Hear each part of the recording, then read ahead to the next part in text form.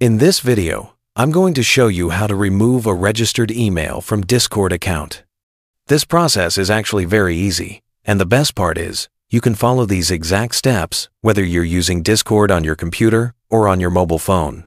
So no matter which device you prefer, this tutorial will work the same way. To begin, make sure that you already have the Discord app open and that you are logged into your account. Once you're inside Discord, the first thing we need to do is go to the settings. So, how can we do this? If you look at the bottom of the app, right next to your nickname and your avatar, you will see a small icon that looks like a gear. If you're on desktop, this gear icon will be at the bottom left corner, and if you're on mobile, you'll also find it near your profile picture. This gear icon is the User Settings button, and that's what we need to click. Once you click on the User Settings button, You'll be taken into your account settings. Now, if you ended up on a different page inside the settings, don't worry. Just look over to the menu on the left side, and at the very top, you'll see the first section called User Settings. Under that, click on the option that says My Account. Here inside My Account, you can see all of the most important details for your Discord profile.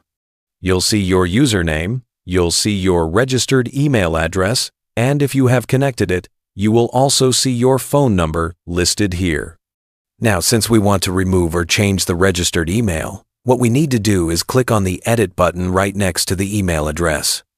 Once you click Edit, Discord will first ask you to verify that you own this account.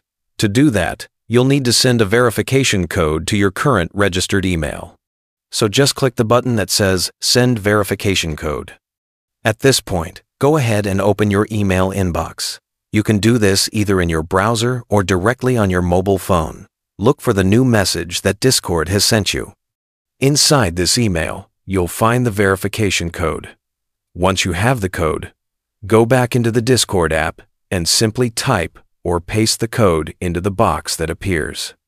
After you've successfully entered the verification code, you will now have the ability to change or delete your registered email. At this point, you can either replace it with a new one, or if your goal is just to remove it, you can delete it directly from here. And that's really all there is to it. This is the only way to remove or change your registered email on Discord. You don't need to download any extra programs or any third-party apps, and in fact, I strongly recommend that you do not try to use other apps or websites for this because they can easily steal your data. The official method inside the Discord app is the only safe and correct way to make this change. So that's how you delete a registered email on Discord.